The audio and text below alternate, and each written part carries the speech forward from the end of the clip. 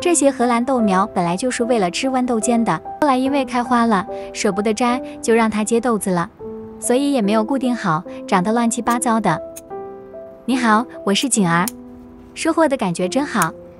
广东的气候高温潮湿，对于种植的菜友很不友好，病虫害特别多，不打农药想吃到菜真的很不容易。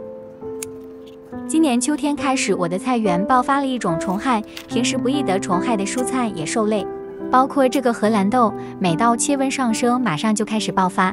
前段时间爆发厉害，我想今年可能吃不上荷兰豆了。后来天气转冷，病害马上就好了。低温天气持续一段时间，所以就结了豆子。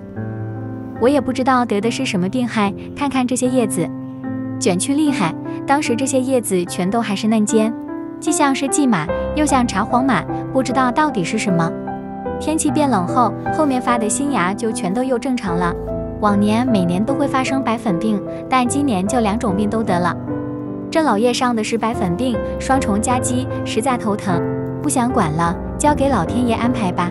摘完荷兰豆，突然想起天气预报未来一段时间升温，还是想在虫子吃我的豆尖之前把它们摘了，让自己先吃一顿吧。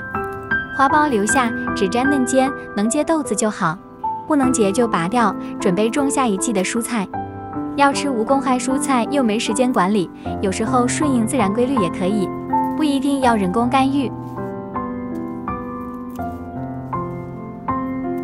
有豆荚，有豆尖，看着就觉得美味，让我赶在虫子前先吃一顿。